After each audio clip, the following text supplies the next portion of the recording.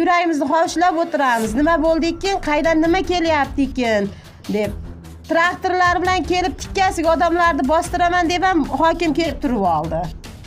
Kelganda o'zi tek kelib ketmaydi yo ogohlantirmaydi. Men palonchi kuni kelaman uyni bo'shatib qo'y demaydi keladida tikkasidan solib ketyapti. Bayda odamni qadri qimmati yo'q bu rayonda.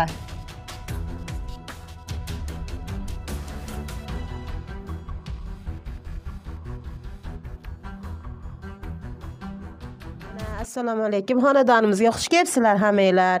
Biz mana birinchi uy qurganimizda hokim kelib tevasida o'tirib buzasan dedi. U- odamlar o'zi hushidan ketib qolib ham asrab olib qololmadik birinchi qurgan uyimizda. Endi mana xudoga shukur hammamiz ishlab yana uy qursak yana shu ahvol yana takrorlanyapti. Qachon uy tikkalaymiz desak shu ahvol takrorlanaveryapti keladi buzasan deydi kechasi yana tinchlik bermaydi. Moshina kelsa ham yuragimizni hovuchlab o'tiramiz. Nima bo'ldi ekan? Qaydan nima kelyapti ekan? deb. Traktorlar bilan kelib tikkasiga odamlarni bostiraman deb ham hokim kelib buzasan deb turib oldi. Kelganda o'zi tek kelib ketmaydi yo ogohlantirmaydi. Men palonchi kuni kelaman uyni bo'shatib qo'y demaydi keladida tikkasidan solib ketyapti. Mayda odamni qadri qimmati yo'q bu rayonda. Iltimos sizlardan mana shu uy joyimizni hal qilib berishlaringni so'raymiz. Biz ham endi uchta bola bilan chiqib o'tiribmiz. Tinchlik yo'q. Yo ishli- joyda ishlasak ham maylida shu prezidentimiz qurib bergan uylarni olib biz ham yashashni xohlaymiz. Lekin ana shunga sharoitimiz ham yetmaydi qurbimiz ham yetmaydi. Bir yerda ishlamaydi hech kim.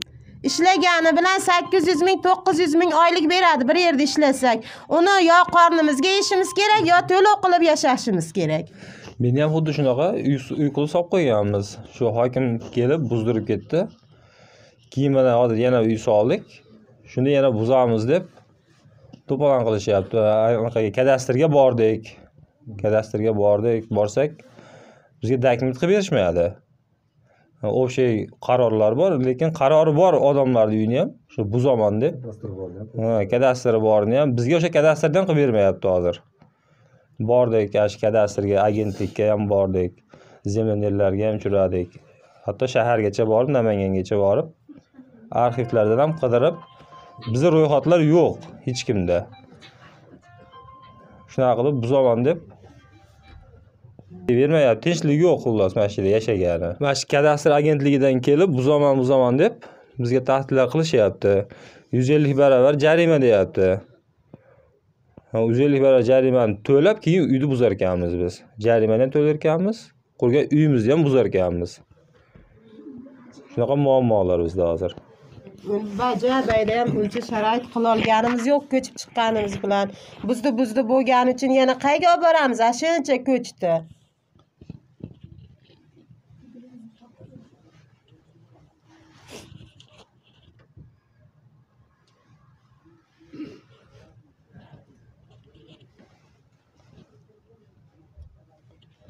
Biz mana endi shu dala joyni o'zimizga yer uchastka qilib bo'lib berganiga mana o'n yildan oshayotgan bo'lsa o'n yildan beri shu olishib kelamiz shu kurashib uy solamiz uy buzamiz uy solamiz. Shu shu zaylda yashayapti bu qishloq xalqi. Endi mana bu yilgi ikki ming yigirma ikkinchi yil farovon mahalla obod mahalla yili hamdaki insonni qadrlash yili deydi. Yo'q bizda unaqa unaqangi nimalari yo'q? Prezidentimizni farmonlari qayoqqa ketyapti bizda bilmayman. Mutasaddilar qanaqa nima qilayotganini tushunmay qolamiz. Kimga najoat kimga nima so'rab borishni ham bilmay qolyapmiz. Bor qo'limizda turgan qog'oz dokumentni ham hozir seni dokumentlaring o'tmaydi degandek qilib o'zlari qilib bergan dokumentlarni o'zlari tan olishmayapti hozir bizga. Buzasan qurasan buzasan qurasan deb shunaqa bo'lib qiyinchilikda qo'yingki biz hozir najovat so'rab shu muxbirlarga iltimos qildik endi majburki bo'ldikki shu shu nimamizni biz yechimini topishdi. Shu mutasaddi nimalar ham iltimos qilardik shu tushunsa bizga zora shu yordam qilsa o'z nimasini tushunsa deb shu xalq qiynayotganini boshqasini shu prezidentni farmonlarini qo'llab shu yerda nima qilishini iltimos qilib so'rar edik. Bizni shu chekka qishloqlarda ham bir kelib ko'rib tekshirib o'rganib chiqsa xalqni yashashi farovonligini degan maqsadda shu nima qilyapti?